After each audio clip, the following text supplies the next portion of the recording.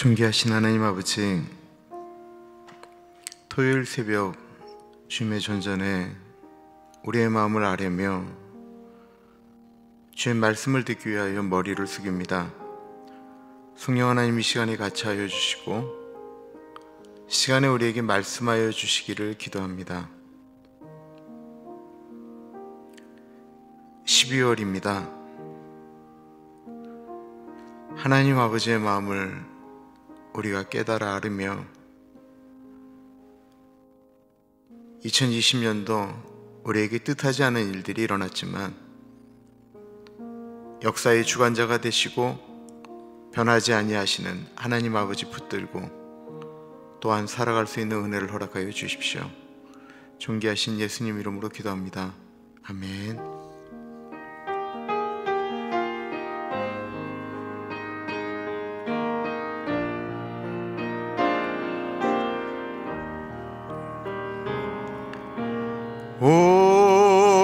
집을 나서기 전기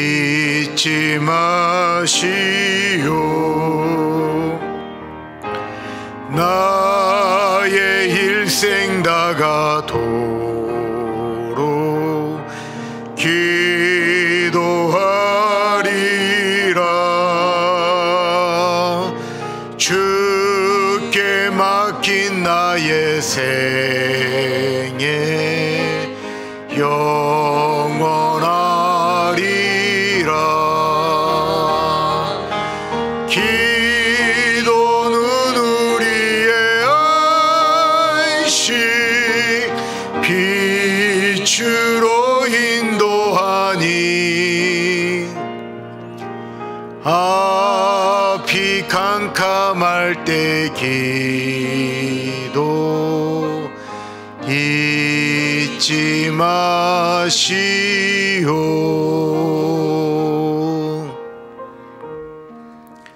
이 시간에 기도하겠는데요. 오늘 그 본문 또 내일 본문이 기도에 관련된 본문이에요. 기도가 참 좋은 줄 아는데 기도하는 게 참 쉽지가 않습니다. 기도가 이렇게 술술 나오면 얼마나 좋겠어요.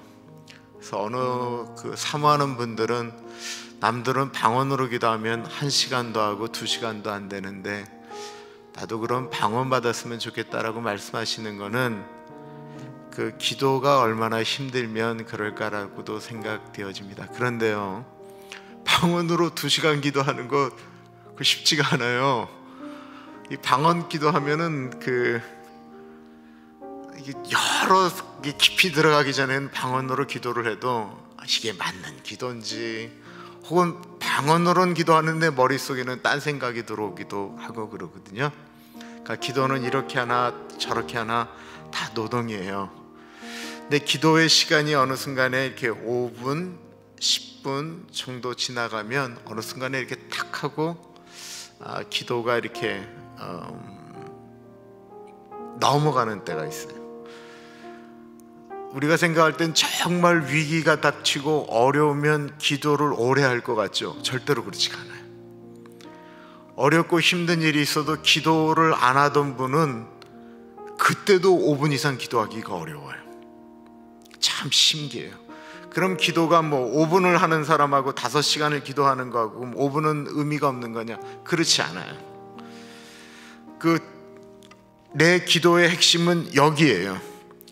그런데 뭐 수많은 기도를 하는데 이 엉뚱한 곳을 향하여 막 총을 지람, 총질을 하면 타겟은 여기 있는데 다른 데로 아무리 총질을 해도 소용이 없잖아요. 그죠?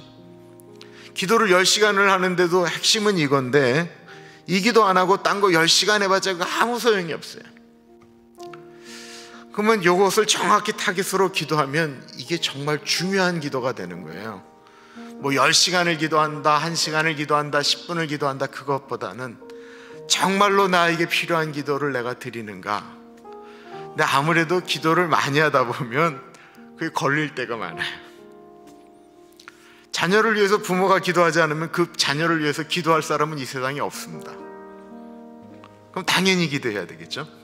뭐 이런 식으로 이제 기도를 정하면 되는데 오늘은 그냥 우리가 말씀을 듣고 하면서 아, 내가 하나님 기도에 대한 필요성은 늘 느끼지만 아, 주님 제가 이렇게 기도로 들어가는데 내 마음이 좀 이렇게 열렸으면 좋겠습니다. 주님 내가 기도할 때 내 기도가 주님 앞에 이렇게 전달되어지고 주님이 내 기도를 믿는 들어주신다라고 하는 그 믿음이 나에게 더 가까이 들어올 수 있도록 주님 같이 해주십시오. 우리 같이 기도하고 말씀 듣도록 하겠습니다. 기도를 위해서 기도할게요. 존귀하신 하나님 아버지 기도합니다. 하나님 아버지 같이 하시고 인도하여 주시기를 기도합니다. 성령 하나님, 성령 하나님 같이 하여 주십시오. 하나님 아버지 시간에 같이 하여 주시기를 기도합니다. 하나님 아버지 기도를 사모하는 분들이 모였습니다. 예배를 사모하는 분들이 모였습니다. 하나님 아버지 같이 하여 주시고 하나님 인도하여 주시기를 기도합니다. 막혀있던 기도줄이 풀어질 수 있도록 하나님 인도하여 주시고 기도의 동력이 일어날 수 있도록 아버지 같이 하여 주시기를 기도합니다. 하나님 아버지 아버지 동행하여 주옵소서 아버지 같이 하여 주옵소서 성령 하나님 인도하여 주시고 동행하여 주시기를 기도합니다. 아버지 아버지 같이 하여 주십시오. 이 새벽에 주님의 은혜가 있기를 기도합니다. 성령 하나님 같이 하여 주옵소서. 아버지 같이 하여 주옵소서. 하나님 도와주옵소서. 존귀하신 하나님 아버지 다니엘의 기도를 보면서 우리의 마음 가운데도 주님 저희가 다니엘처럼 기도하기를 소원합니다. 이런 마음이 우리 안에 일어나기를 기도합니다. 존귀하신 예수님 이름으로 기도합니다. 아멘. 다니엘서 9장 1절에서부터 14절까지 말씀입니다. 다니엘서 9장 1절에서부터 14절까지 말씀. 이우리 목사님 여기가 지금 히타가 들어오고 있나요? 어.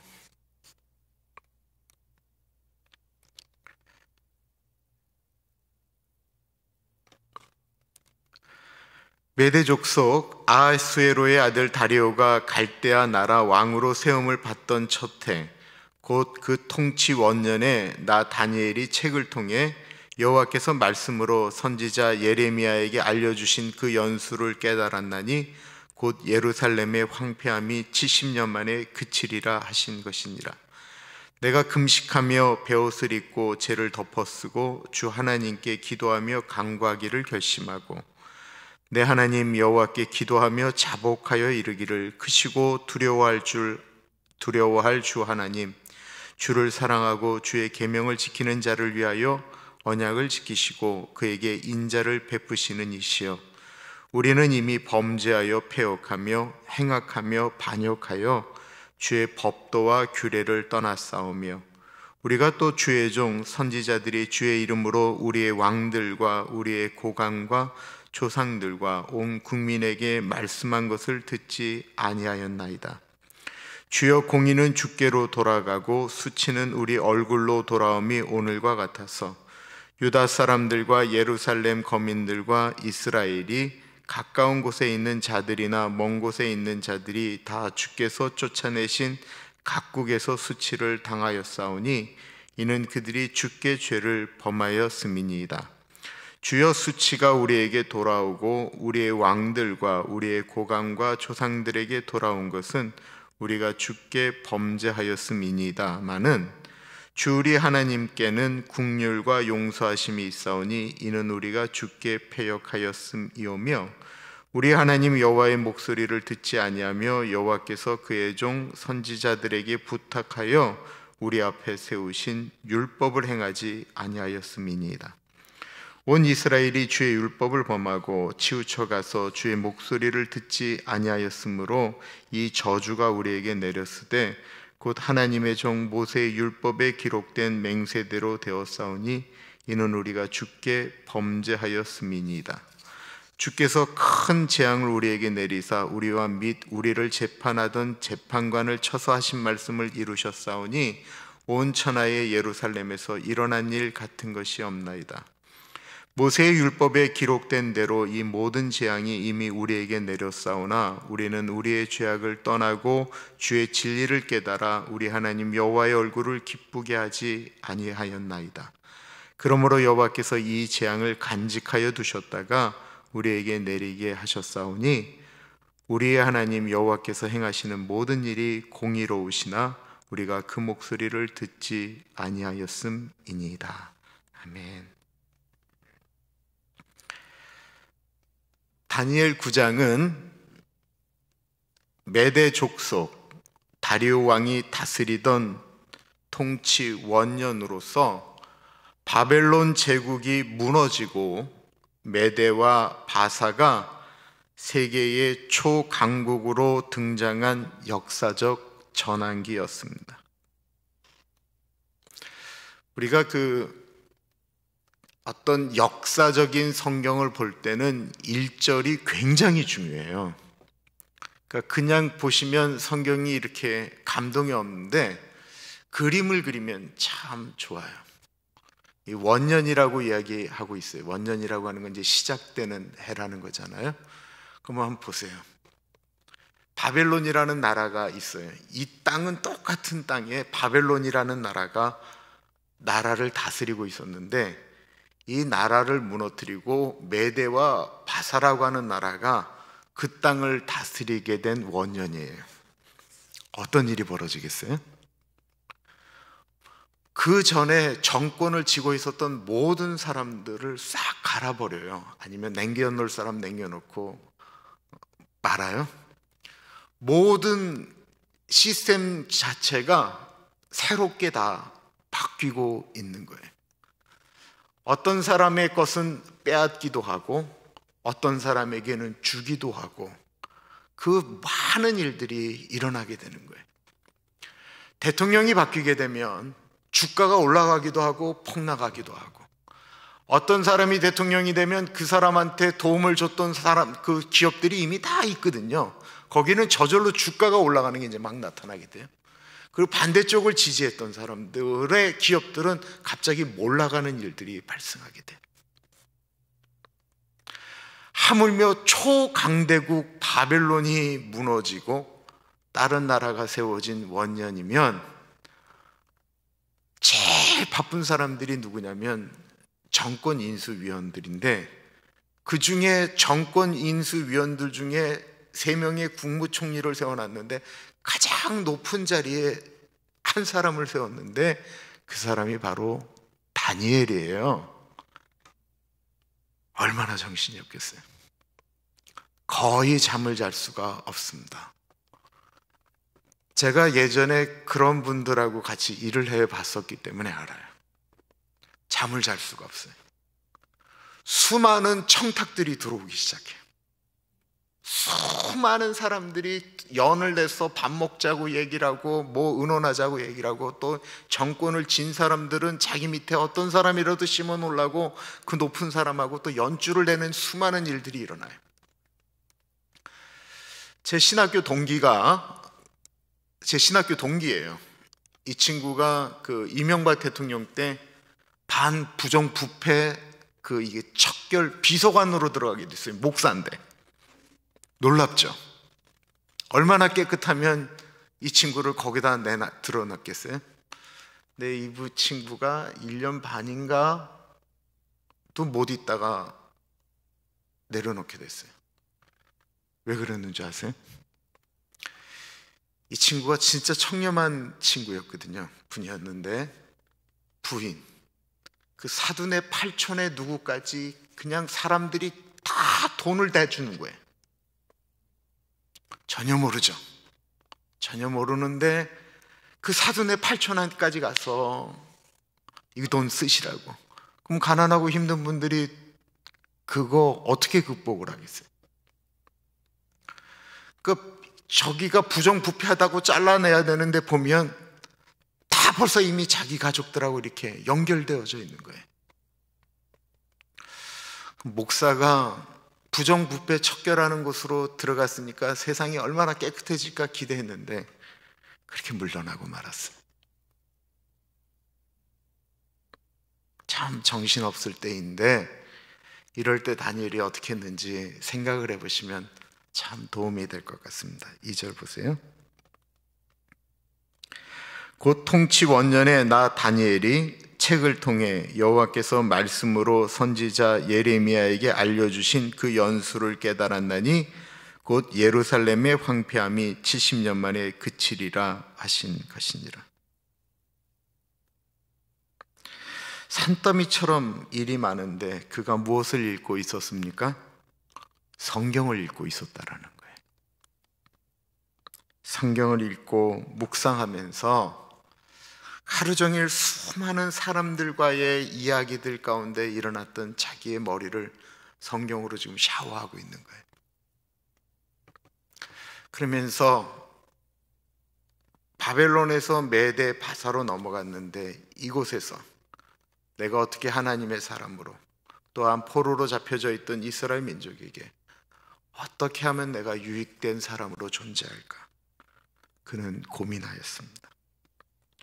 다니엘은 위대한 선지자였고 꿈과 환상을 풀어서 계시를 풀어주는 예언자였는데도 불구하고 그가 성경을 공부하고 있습니다.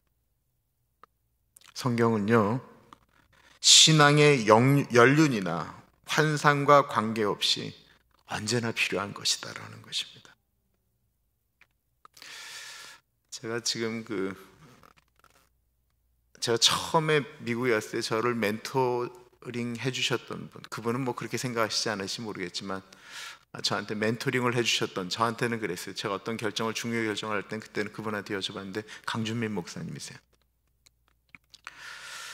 한 2007년인가 8년인가 만났는데 이렇게 그분이 묵상에 관련된 성경 암송에 관련된 책 쓰셨잖아요.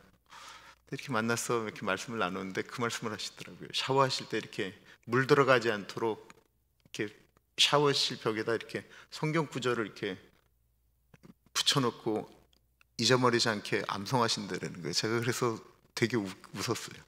아니 한 번 외운 게 어떻게 잊어버리시냐? 제가 그렇게 생각했어요. 아 진짜 이상했어요. 어떻게 한 번 외운 게 잊어버려지지? 아 제가 그랬다니까요. 여러분도 웃기시죠? 웃지들도 않으시네. 근데 요즘 제가 그 주일마다 한 절씩 암송하잖아요. 근데 제가 이걸 내가 외웠었던 말씀인가? 라는 생각이 드는 거예요. 분명히 외웠던 건데 너무 생소해요. 왜냐하면 사실은 그 뭐 설교 큐티 설교하다 보니까 그 본문이 걸리지 않고 지나갔을 확률이 높기도 해요. 전혀 기억이 안 나요. 그래서 때때마다 잃어버리지 않도록 다시 반복하는 게 굉장히 중요합니다. 다니엘은 어떤 상황 가운데서도 기도하고 성경을 읽고 묵상하는 시간을 중요하게 여겼다라는 것입니다. 그런데 이게 쉽지 않은 이유를 말씀드려요. 다니엘이 그 정권이 바뀌고 국무총리를 하려니까 시간이 뭐 정말 정신이 없어요. 그 대통령이나 그 중요한 분들 스케줄을 보면요. 짬이 거의 없어요. 시간대로 쪼개져 갖고 나와요. 한 달, 두 달께 다 그런 식으로 나와요. 정말 시간이 막 어떻게 움직일 수 없는 시간만큼 이렇게 쪼개져서 나와요. 그리고 대통령이나 이런 분들이 약속을 한번 취소한다는 건 몸에 아주 특별한 이상이 없는 한 그게 불가능한 거예요. 그래요. 그리고 나서는 나머지 시간에 그때는 몸이 쉬어야 되는데 사람들이 테레비 볼 거 다 보고 자기 하고 싶은 거 다 하고 난, 난 다음에 성경을 읽겠다, 기도하겠다. 이게 불가능한 거예요. 그래서 안 되는 거예요. 자기 하고 싶은 거 다 하고 난 다음에 성경을 읽으려니 되지도 않고 기도도 안 되는 거예요. 이게 대가를 지불해야 성경도 읽고 기도도 하는 거예요. 안 되는 거예요. 자기 하고 싶은 걸 다 하고 난 다음에 할 시간이 없어요. 그러니까 다니엘은 그 바쁜 와중에 성경을 읽었다라고 하는 것은 잠을 두든지 무엇인가를 이렇게 대가를 지불했다라고 하는 것을 의미하는 것입니다.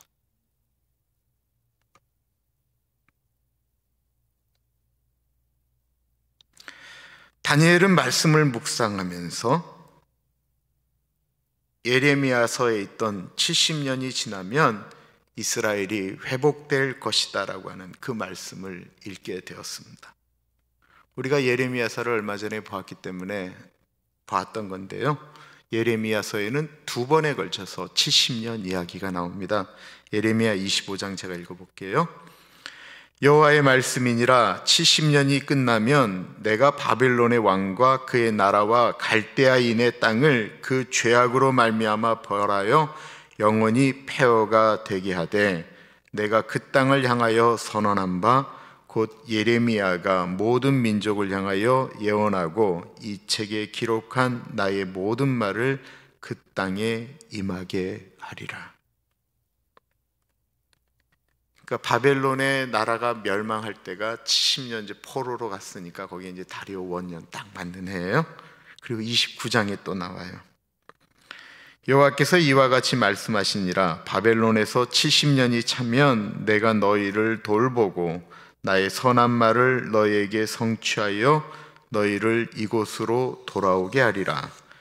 여호와의 말씀이니라 너희를 향한 나의 생각을 내가 하나니 평안이요 재앙이 아니니라. 너희에게 미래와 희망을 주는 것이니라. 너희가 내게 부르짖으며 내게 와서 기도하면 내가 너희들의 기도를 들을 것이요. 너희가 온 마음으로 나를 구하면 나를 찾을 것이요. 나를 만나리라. 이것은 여호와의 말씀이니라. 나는 너희들을 만날 것이며 너희를 포로된 중에서 다시 돌아오게 하되 내가 쫓아내었던 나라들과 모든 곳에서 모아 사로잡혀 떠났던 그곳으로 돌아오게 하리라. 이것은 여호와의 말씀이니라. 하나님이 약속된 말씀. 다니엘은 그 약속의 말씀을 읽으면서 기도하기 시작했습니다. 이제 70년이 되었기 때문에 하나님의 말씀이기 때문에 하나님의 약속의 말씀이기 때문에 이루어질 것입니다.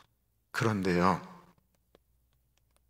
다니엘 9장을 보면 다니엘이 도대체 기뻐하는 것 같지가 않아요.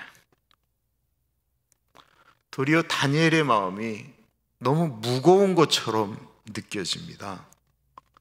다니엘이 전혀 기뻐하는 것 같지가 않아요. 왜 그럴까요? 과연 이 상태로 이 유대 공동체, 이미 70년 동안 바벨론화 된 사람들이 그 나라로 돌아가게 되면 많은 사람들이 거기서 신앙도 버렸을 거고 우상에게 절도 했을 거고 유대어는 잃어버리고 아람어, 바벨론어를 갖고 사용도 많이 했을 텐데 이들이 과연 저 예루살렘으로 돌아가면 제대로 되는 나라를 만들 수가 있을까? 두려운 것입니다. 그래서 그가 했던 것은 금식이었어요. 근데 이거 잘 생각해 보세요. 절대로 나이가 드시면 해서는 안 되는 것이 금식이에요. 어르신들이 그 병으로 돌아가시는데 그 병이 뭐냐면 영양실조예요. 그래도 식사를 좀 하시면 몸이 버티세요. 근데 나중에 이제 몸이 병들고 그러면 입맛이 없다고 그래서 식사를 안 하게 되니까 다 나중에 영양이 없어서 영양실조로 돌아가세요. 물론 다른 병으로 돌아가지만 결국은 드시지 못해서 돌아가시는 거예요. 다니엘이 바벨론에서 70년이 지났어요. 바벨론이 끌려올 때 10대였어요. 최소한 나이가 80이 넘었어요. 넘어갔으면 90이 넘어갔을 수도 있어요. 그러니까 최소한 80대 중반이 넘어갔다라는 거예요. 그런 분이 그 많은 일을 하는데 식사 안 하면 안 되는 그 어른이 그 나라를 생각하면서 어떻게 하나님 앞에 나아갈 수가 없으니까 금식하면서 기도하기 시작했다라는 거예요. 3절과 4절 보세요. 내가 금식하며 베옷을 입고 죄를 덮어쓰고 주 하나님께 기도하며 강구하기를 결심하고 내 하나님 여호와께 기도하며 자복하여 이르기를 크시고 두려워할 주 하나님 주를 사랑하고 주의 계명을 지키는 자를 위하여 언약을 지키시고 그에게 인자를 베푸시는 이시여 다니엘은 돌아가지 않았습니다. 다니엘이 꿈꿀 수도 없는 이스라엘의 귀환입니다. 그런데 그는 자신이 돌아갈 수 없는 곳인데도 불구하고 그는 금식하며 마치 자기가 뭔가를 잘못한 것처럼 죄를 뒤집어 쓰고 하나님 앞에 고통하며 나아갑니다. 슬픔을 나타내는 베옷을 입고 자기가 죄를 저질렀다라고 하는 것을 하나님 앞에 나아갈 때 그 당시 유대인들이 했던 죄를 뒤집어 쓰고 그리고 하나님 앞에 나아가고 있습니다. 우리가 알고 있는 다니엘이 뭔 죄를 졌다고 이가 이렇게 기도하며 나아가는 것일까요?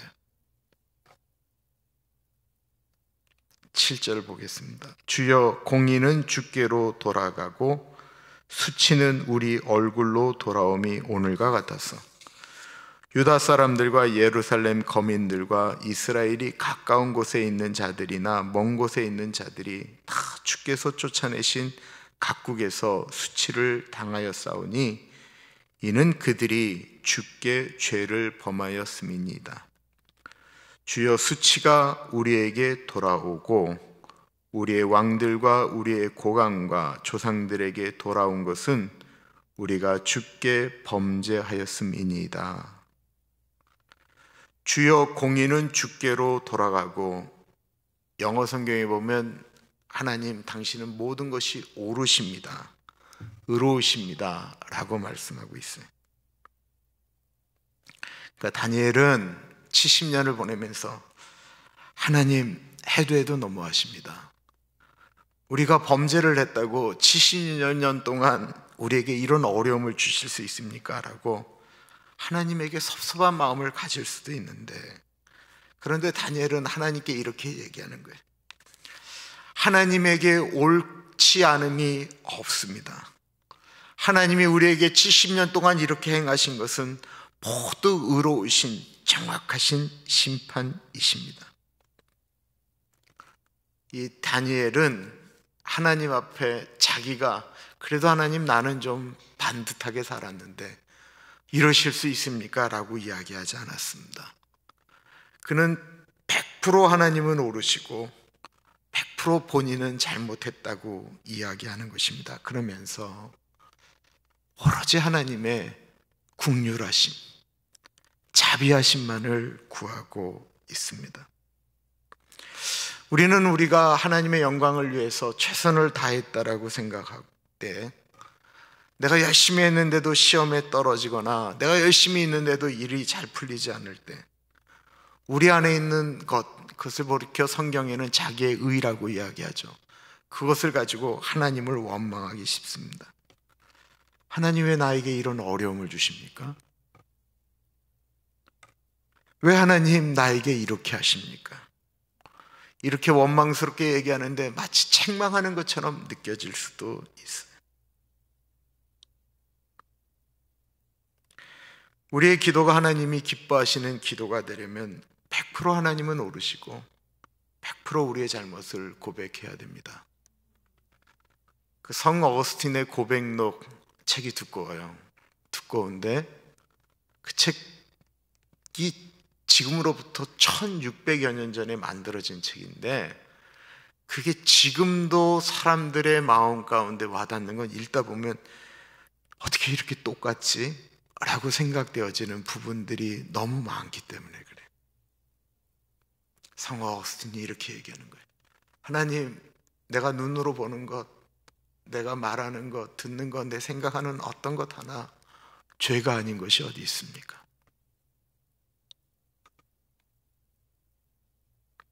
그런 그가 이 모든 일들이 일어났던 건 우리가 죽게 범죄하 기 때문입니다라고 고백하고 있습니다. 10절부터 보면 어, 이스라엘이 저주를 받았던 이유가 나오죠. 그들이 하나님의 말씀을 범하였을 때 기록한 대로 어려움을 겪게 되었다라는 것입니다. 10절과 11절이에요. 우리 하나님 여호와의 목소리를 듣지 아니하며 여호와께서 그의 종 선지자들에게 부탁하여 우리 앞에 세우신 율법을 행하지 아니하였음이니이다. 온 이스라엘이 주의 율법을 범하고 치우쳐 가서 주의 목소리를 듣지 아니하였으므로 이 저주가 우리에게 내렸으되 곧 하나님의 종 모세의 율법에 기록된 맹세대로 되었사오니 이는 우리가 죽게 범죄하였음이니이다. 11절에 보면 모세의 율법 가운데 기록한 맹세대로라고 이야기하고 있습니다. 모세 율법에 기록된 맹세는 하나님과 이스라엘이 가졌던 약속을 이야기하는 거예요. 하나님도 내가 이렇게 하면 이렇게 내가 하겠다라고 하나님도 맹세하셨고요. 이스라엘 백성도 하나님에게 하나님이 그렇게 하시면 우리가 이렇게 하겠습니다라고 하고 맹세한 것을 얘기하는 거예요. 그래서 이렇게 신의 산 계약이라고 그래요. 너희가 나의 말씀을 청종하면 나는 너희의 하나님이 되고 너희는 나의 백성이 되리라라고 하면서 신명기 28장에 보면 축복과 저주에 대한 이야기가 나와요. 그들이 하나님의 말씀에 순종하면 그들에게 복을 주겠다라고 하는 것. 그래서 목사님들이 이것을 가지고 많이 이야기하시는 거예요. 너희가 들어가도 복을 받고 나 가도 복을 받고 너희의 떡반죽이 심지어 다 복을 받고 머리가 될지언정 꼬리가 되지 아니하고 뭐 하는 많은 축복들이 나오는 게 신명기 8장의 말씀이에요. 그런데 그 하나님의 백성이 하나님의 말씀대로 살지 않고 불순종하게 되면 저주를 받는 내용들도 나오게 됩니다. 여러 가지 재앙이 끊이지 않고 그들의 인생이 실패하고 세계 망국 중에 흩어짐을 받아서 조롱거리가 된다라고 하는 말씀이 나와요. 그리고 이스라엘 민족을 보면 이스라엘 민족처럼 여기에 딱 맞는다라고 생각되어지는 민족이 없어요.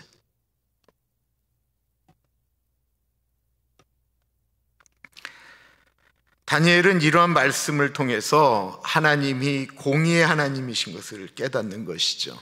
공의의 하나님이시기 때문에 반드시 말씀하신 대로 맹세하신 대로 행하신다. 공의라고 하는 것은 정한 법, 약속한 것을 그대로 지키기 때문에 공의로우신 거예요. 사람들은 저마다 하나님께서 자기는 특별히 좀 용서해 주실 것이다라고 하는 착각이 있어요. 그러나 하나님은 선택한 백성마저도 용서해 주지 않으십니다. 범죄하면 대가를 지불하세요. 심지어는 그 대가를 지불하는데 사랑하기 때문에 우리가 이거 공의와 사랑할 때 늘 얘기하는 거잖아요. 공의 하나님이 심판은 해야 되겠는데 사랑하니까 할 수 없이 한 게 뭐예요? 예수님 보낸 거잖아요. 저희가 전도 가면 제일 많이 하는 이야기 중에 하나가 그 왕의 이야기인데 왕이 명령하는 게 민족이 너무 잘못을 많이 하니까 민족이 너무 잘못을 하니까 지금부터 거짓말을 하면 두 눈을 뽑아버리겠다고 얘기를 했어요. 근데 말이 왕이 말이 엄포되고 나자 얼마 되지 않아서 붙잡혀 온 분이 왕의 어머니였던 거예요. 왕의 어머니 눈을 빼야 돼요. 왕이 고민하는 거예요. 내가 이거 우리 어머니라고 만약에 괜찮 용서라면 그 이제 법은 아무 소용이 없게 되는 거예요. 근데 백성들도 그렇게 생각하는 거예요. 왕이 어떻게 자기 엄마를 어떻게 하겠어? 근데 왕이 어떻게 해요? 어머니 눈 빼요. 어머니 눈 하나 빼고 왕이 자기 눈 하나 빼는 거예요. 내가 우리 엄마 눈 하나 내가 대가를 지불하겠다. 공의와 사랑에 대한 이야기를 할 때 이런 얘기를 하게 되죠. 교인들이 하시는 기도 중에 그 참 목사에게 위로가 되고 기쁨이 되긴 하는데 사실은 뻥인 기도가 하나 있어요. 뭔지 아세요? 하나님 아버지께서 특별히 사랑하시는 우리 김인철 목사님 특별히 사랑하시는 저도 그러셨으면 좋겠어요. 하나님이 저를 특별히 사랑하셨으면 좋겠는데 아, 맞는 얘기예요. 그렇지만 교우들 한 분 한 분을 하나님은 다 특별하게 사랑을 하세요.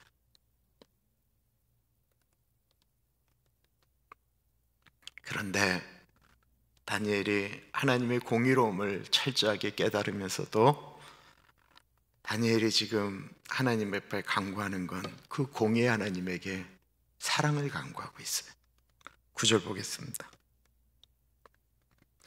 주리 하나님께는 국률과 용서하심이 있사오니 이는 우리가 죽게 폐역하였음이오며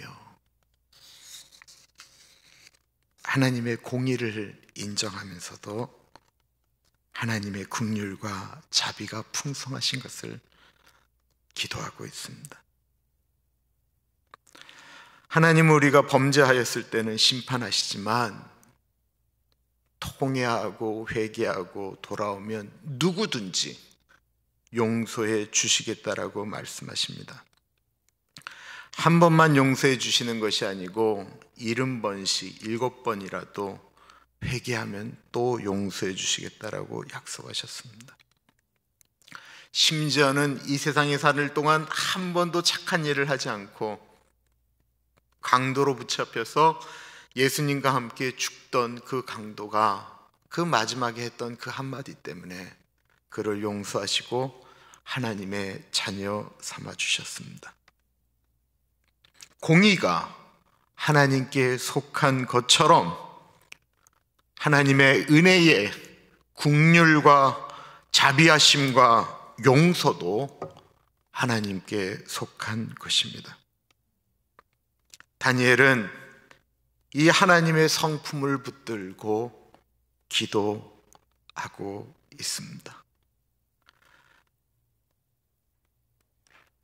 70여 년 전, 그보다 훨씬 전부터 경고하였는데 자신들의 아버지, 할아버지, 그 할아버지들이 잘못한 그 죄가 마치 다니엘의 죄인 것처럼 기도하면서 회개하면서 공의의 하나님 심판하셨으면 이제는 우리를 용서하여 주시고 불쌍히 여겨달라고 기도하는 다니엘의 그 노종의 모습 속에서 나와 있는 것은 그 죄가 자기의 죄인 것처럼 기도하고 아파하는 것이었다라는 것입니다.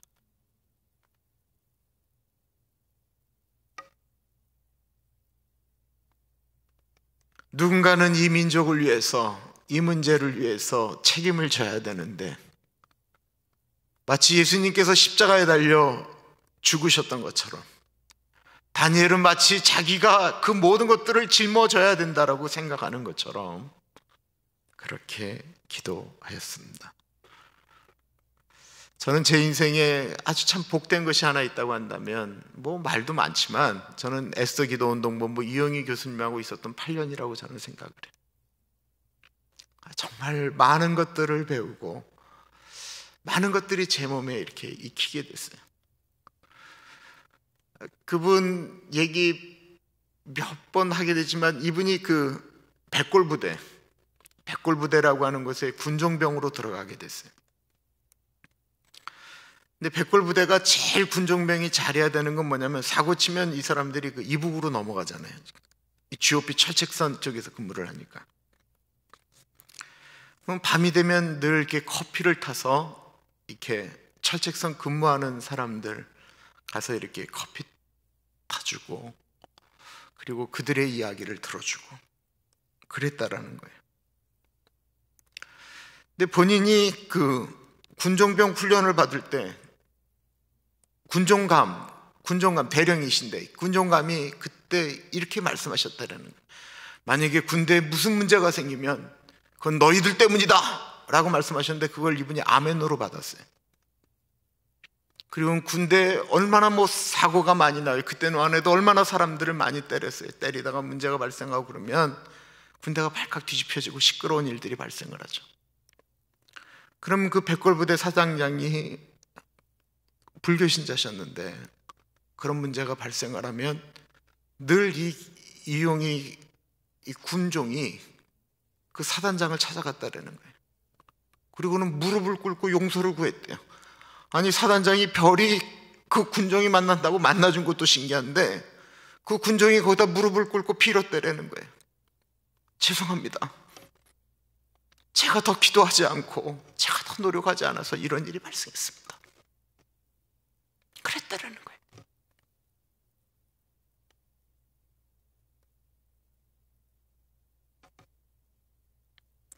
제가 다녔던 그 선교단체는 교인이 있는 게 아니에요. 그죠?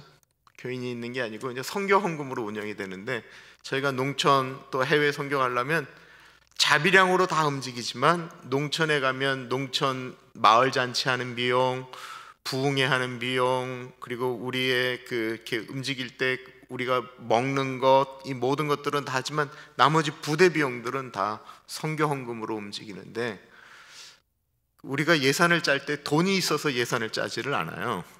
그냥 먼저 그냥 선포하면서 올해는 여름에 30개 농촌으로 가겠다 그러면 30개 전도팀을 먼저 구성을 해요.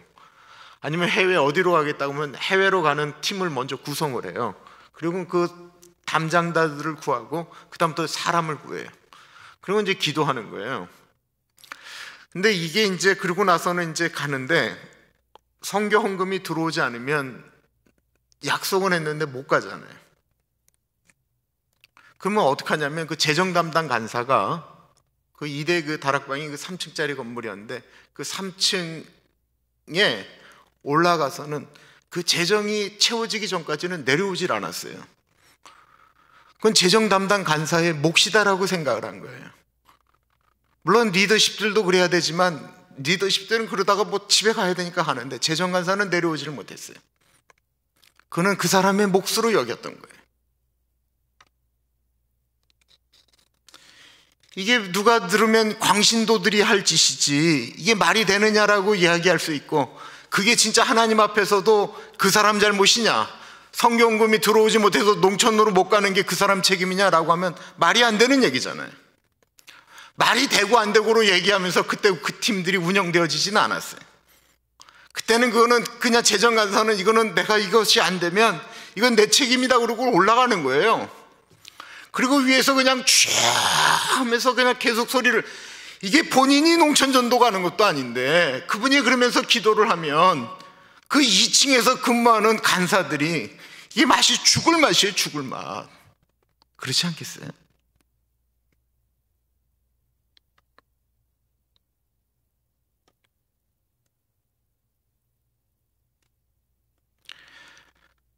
겉으로 드러나는 것들에 대한 것이 아니고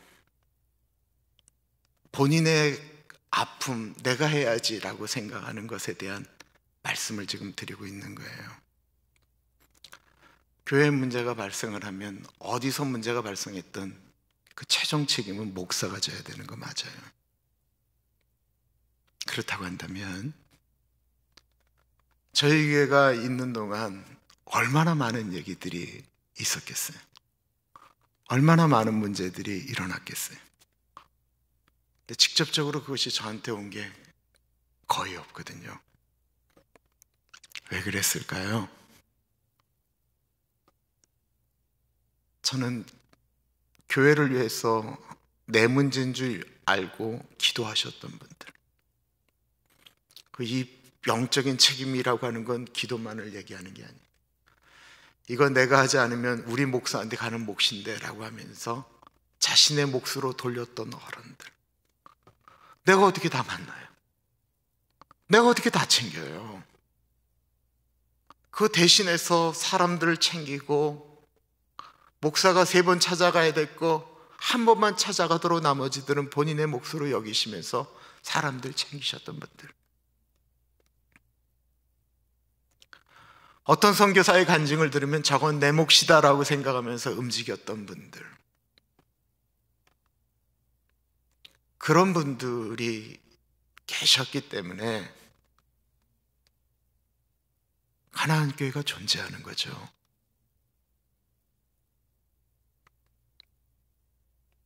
누군가 기도 부탁을 하면 그 기도 부탁이 정말로 자기한테 들어올 땐 내 몫인 줄 알고 기도하는 사람들 때문에 가정도 같이 돌아가는 거고.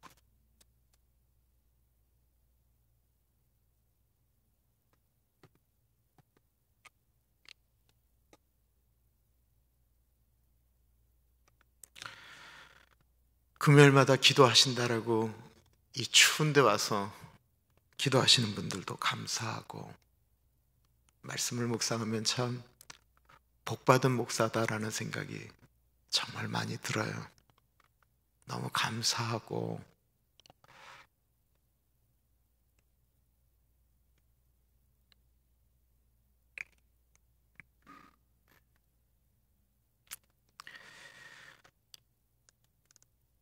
지금 전 세계가 지금은 뭐 진짜 조심을 우리가 해야 될 때에 왔어요. 어, 뭐 숫자가 너무 막 급증하고 있어요. 제 아들이 나가 있는 독일도 모든 것들이 지금 다 닫혔대요. 프랑스도 마찬가지고 놀기 좋아하는 유럽 사람들도 지금은 너무 막 어려워하고 있고 그러다 보니까 우리가 그냥 그냥 코로나 걸려 죽든지 말든지 내버려 두라고 데모하기 시작했고 장사하는 분들은 죽겠다라고 이야기하고 대한민국도 마찬가지고 미국도 마찬가지고 지금 다 어렵습니다. 누군가는 기도해야 되는데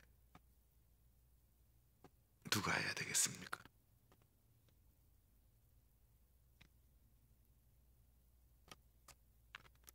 모든 집안에는 문제가 있습니다. 부모님도 문제가 있고 자식도 문제가 있고 할아버지 할머니가 문제가 있을 수도 있고 여러 가지 문제가 있고 나와 너 사이에도 문제가 일어날 수 있습니다. 육신적으로 보면 환경적으로 보면 그 사람 때문에 일어난 일일 수 있지만 영적으로 보면 나 때문인 거예요. 그렇게 생각을 해야 문제가 풀어나갈 수가 있어요. 저 사람 바꿔주세요. 백날 기도해도 안 바뀌어요. 내가 그거는 목회하면서 철저하게 경험하는 거예요. 저거 바꿔달라고 아무리 기도해 보세요. 백날 기도 하나 바뀌나. 여태까지 그냥 바꿔달라고 얘기했지만 안 바뀌잖아요. 안 바뀐다니까요.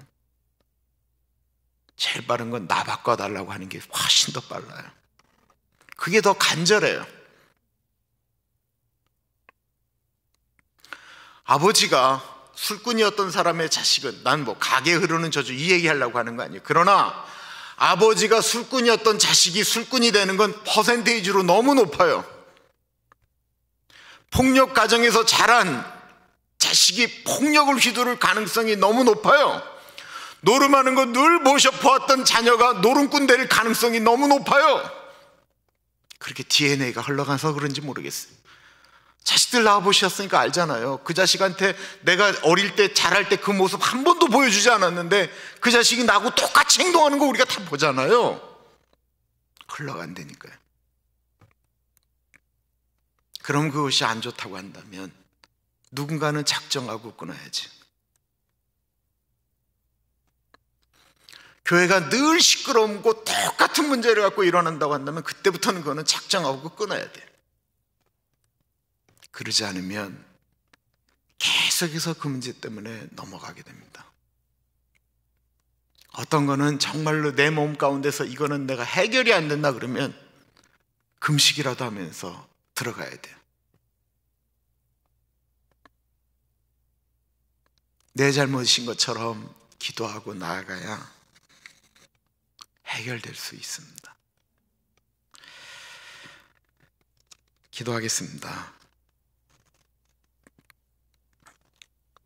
주님, 제가 다른 사람들 문제다라고 이야기하던 것이 앞으로는 저의 문제로 여기고 제 문제인 줄로 기도 생각하고 아파하며 기도하겠습니다. 우리 같이 기도합니다.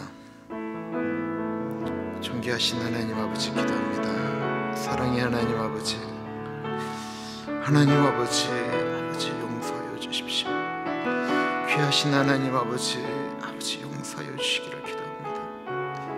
하나님 아버지 이것을 나의 문제인 줄 여기고 나의 문제로 생각하며 기도하며 나아갑니다. 성령 하나님 용서하여 주시기를 기도합니다. 주님, 주님 용서하여 주십시오. 하나님 아버지 용서하여 주십시오. 하나님 아버지, 아버지, 아버지. 하나님 아버지, 아버지 용서하여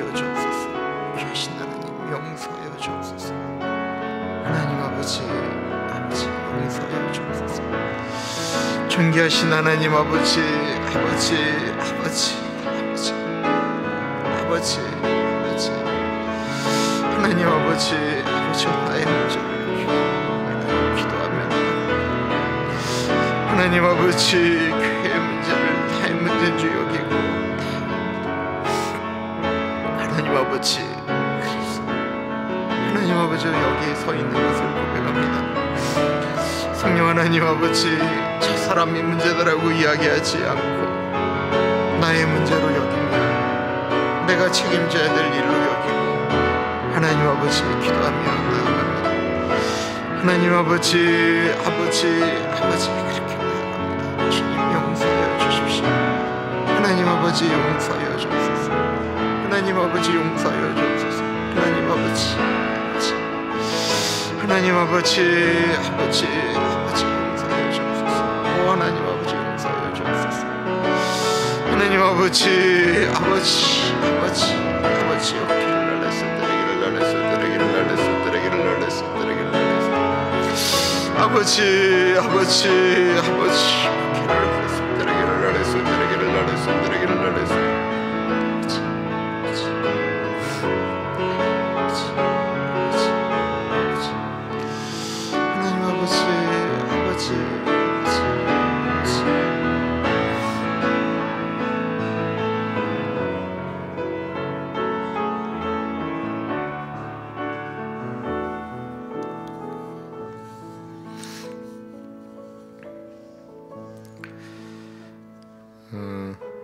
미국, 대한민국 어, 주변에 있는 나라들을 위해서 기도하겠는데요.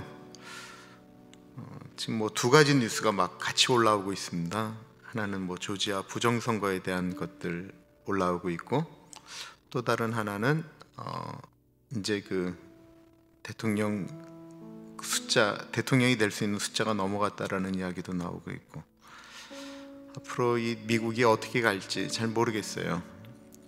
미국을 위해서 기도하겠고요. 대한민국을 위해서 기도하겠습니다. 멕시코를 위해서 기도하겠고 북한을 위해서 기도하겠습니다. 중국을 위해서 기도하겠습니다. 아, 좀 공의가 이렇게 섰으면 좋겠어요. 공의로운 나라들이 되었으면 좋겠습니다.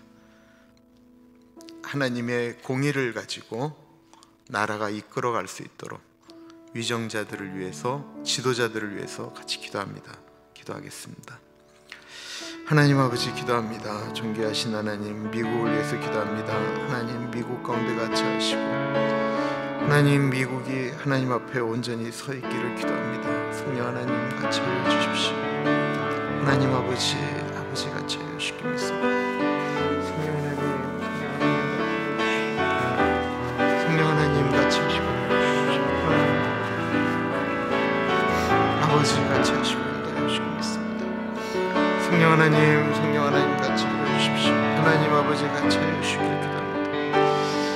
하나님 아버지 아버지 같이 하시고 도와주시길 믿습니다. 하나님 미국이 다시 한번 하나님의 아름다운 지팡이가 되어줄 수 있도록 인도하여 주시기를 기도하고 하나님 아버지 12월이 어느 때보다 쉽지 않은데 이 기간을 잘 넘어갈 수 있도록 하나님 도와주시기를 기도합니다.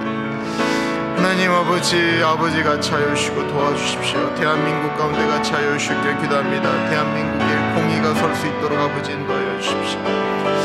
하나님 아버지 대한민국에 바른 공의가 설 수 있도록 하나님 인도하여 주시기를 기도합니다. 주님 공의가 설 수 있도록 인도하여 주십시오. 하나님 아버지 아버지 같이 하여 주십시오. 하나님 동행하여 주옵소서. 아버지 같이 하여 주시길 기도합니다. 성령 하나님, 성령 하나님, 중국 가운데 같이 하여 주십시오. 중국의 공의가 서게 하여 주십시오. 아버지 북한 땅에 공의가 서게 하여 주십시오. 아버지 멕시코에 공의가 서게 하여 주십시오. 하나님 아버지 전 세계에 하나님 아버지 하나님 아버지의 공의가 바로 서기를 간절히 기도드립니다. 다시 한번 나라들이 하나님 아버지 깨끗함과 온전한 가운데 설 수 있도록 하나님 인도하여 주시기를 기도합니다. 주님 인도하여 주옵소서. 아버지 같이 하여 주십시오. 오 하나님 아버지 아버지 같이 하시고 인도하여 주시길 믿습니다. 성령 하나님 성령 하나님 같이 하여 주옵소서. 아버지 같이 하여 주옵소서. 하나님 아버지 아버지 같이 하여 주시기를 기도드립니다. 하나님 아버지 아버지 아버지 이 모든 남맥상들 가운데 하나님의 뜻이 이루어지기를 기도합니다. 아버지 아버지 뜻이 이루어지기를 기도합니다. 성령 하나님 같이 하여 주시고 도와주옵소서. 하나님 인도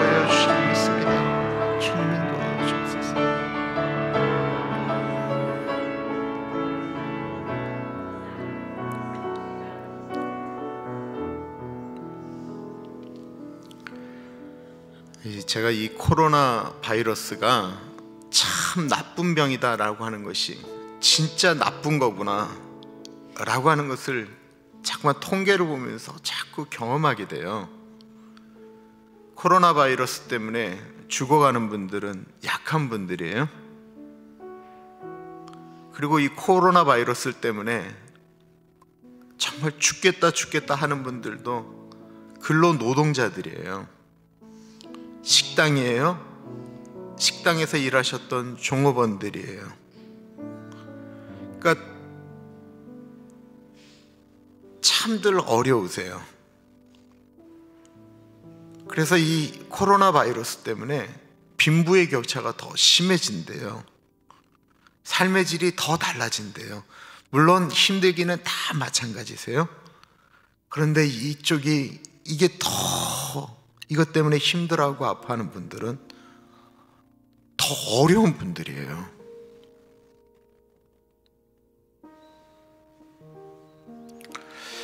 빨리 끝나야 되는데, 빨리 끝나야 되는데, 라고 생각하는데 이게 참 쉽지가 않네요.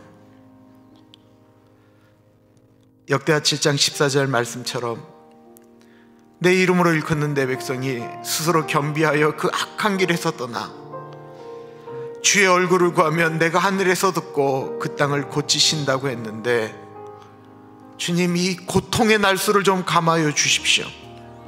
이 회복의 날수를 좀 감하여 주십시오. 주님 우리 좀 작정하며 기도하겠습니다. 기도합니다. 하나님 아버지 기도합니다. 존귀하신 하나님 아버지 이 코로나 이것 때문에 힘들어하고 어려워하는 분들 하나님 아버지 같이 하여 주시기를 기도합니다. 주님 같이 하여 주십시오. 하나님이 고통의 날수를 감하여 주시기를 기도합니다.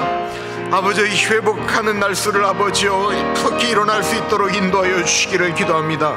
성령 하나님 그렇게 되어질 수 있도록 하나님 인도하여 주옵소서. 하나님 아버지 그 일들이 일어날 수 있도록 하나님 같이 하여 주시기를 기도드립니다. 백신을 맞고 움직이는 분들이 아버지 부작용이 없게 하시고 생사를 아버지 이렇게 오고 가는 분들이 하나님 아버지 빨리 회복되어질 수 있도록 아버지 인도하여 주시기를 기도합니다.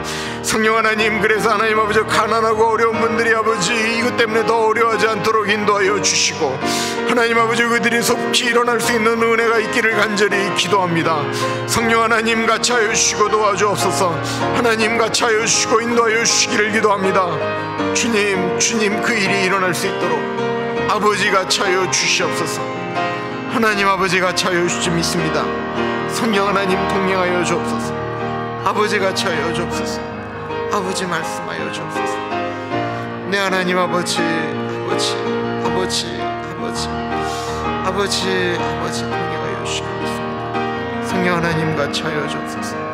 아데라 케랄라레스 데레게를 라레스 데레게를 라레스 데레게를 라레스 아데라를 라레스 데레게를 라레스 데레게를 라레스 주님 같이 하시옵소서.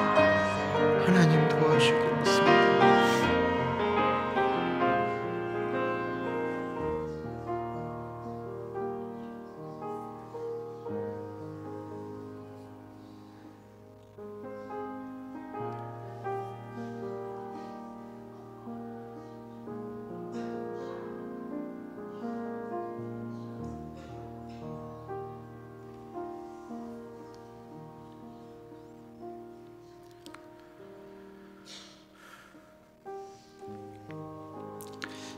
기 저희 그 내일 예배를 위해서 기도하겠는데 어, 지금 뭐 교회에서 히타를 더 준비하려고 애쓰고 있습니다. 날씨가 더 추워질까 봐도 걱정이고요. 어, 늘 그냥 동일하게들 다 기도하시겠지만 우리 교회를 주님의 보혈과 은혜로 덮어주셔서 예배드리고 움직이는데 그 코로나 때문에 이렇게 문제되지 않기를 저희는 만약에 그것이 되어지면 화요 국률 사역이 뭐 바로 직격적으로 문제가 되어지기 때문에 하나님께서 그냥 저희 교회를 이렇게 그냥 은혜로 덮어주신다라고 그냥 생각을 해요. 그렇게 생각을 하고 가지만 우리가 거기에 분명하게 우리가 조심하고 그래야 되는데 늘 예배가 은혜롭게 드려져야 되는데 그렇게 예배 드릴 때도 하나님이 같이 해주셔야 되는데 라고 하는 마음이 있는데 그거는 기도의 몫이라고 생각을 합니다. 내일 예배 가운데 하나님 은혜 주시고 어떻게 예배를 드리던 성령 하나님 만져주시는 은혜가 우리에게 있게 하여 주십시오. 우리 내일 예배를 위해서 기도합니다. 존귀하신 하나님 아버지 내일의 예배를 위하여 기도합니다. 하나님 내일 예배 가운데 같이 하여 주시길 기도합니다. 예배가 하나님 아버지 주님의 은혜 가운데서 어렵지 않게 흘러갈 수 있도록 인도하여 주십시오. 하나님 아버지 내일의 예배가 주의 은혜 가운데 흘러갈 수 있도록 아버지 같이 하여 주시길 기도합니다. 하나님 아버지 내일 예배 가운데 역사하시는 하나님의 은혜를 경험하기를 원합니다. 성령 하나님 같이 하여 주십시오 성령 하나님 같이 하여 주시고 동행하여 주시옵소서. 하나님 아버지 예배 가운데 주의 은혜가 흘러가기를 기도합니다. 야외에서 예배를 드려도 실내에서 예배를 드려도 역사하시는 하나님의 은혜가 동일하게 있기를 기도합니다. 성령 하나님 같이 하여 주옵소서. 하나님 아버지 같이 하여 주옵소서. 아버지 아버지 같이 하여 주시기를 기도합니다. 성령 하나님 성령 하나님 같이 하여 주옵소서 아버지 주님의 전과 이 모든 것들을 예수님의 보혈과 은혜로 덮습니다. 하나님 아버지 어려움을 없게 하시고 주님 주님 통치하시고 은혜 가운데 흘러갈 수 있도록 하나님 인도하여 주시기를 기도드립니다. 주님 인도하여 주옵소서. 아버지 같이 하여 주시기를 기도합니다. 성령 하나님 같이 하여 주옵소서.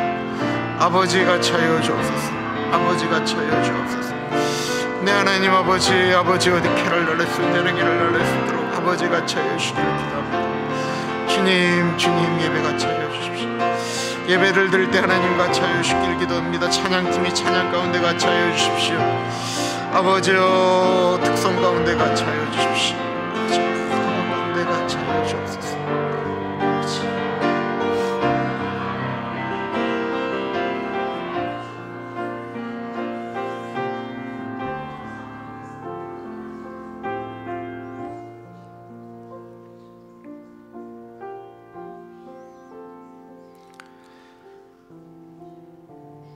존귀하신 하나님 아버지,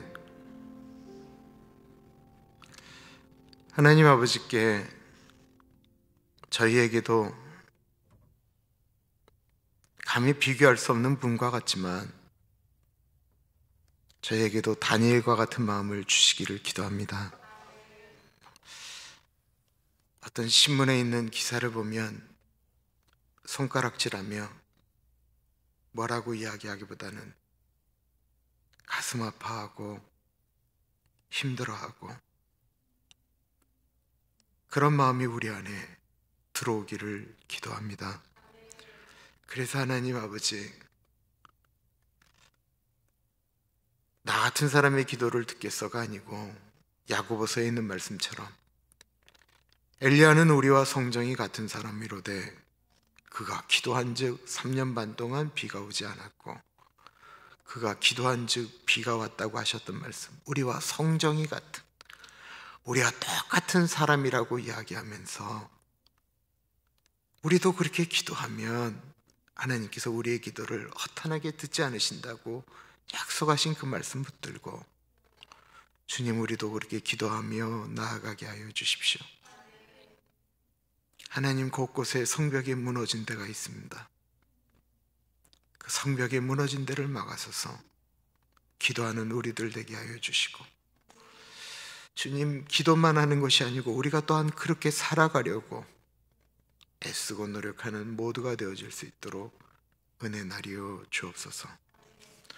지금은 우리 주 예수 그리스도의 은혜와 우리를 너무나도 사랑하셔서 하나밖에 없는 아들을 넉넉하게 보내주신 하나님 아버지 그 크신 사랑하심과 성령 하나님 감화 감동 역사 충만 교통하심이 다니엘과 같은 마음으로 어떤 문제는 주님 이거는 내가 기도하지 않아서 그랬습니다. 주님 저의 문제입니다. 제가 잘못했습니다. 이렇게 주님 앞에 나아가겠습니다. 다짐하는 사랑하는 주의 백성들 머리 위에 지금으로부터 영원토록 같이 하시길 간절히 축원하옵나이다. 아멘.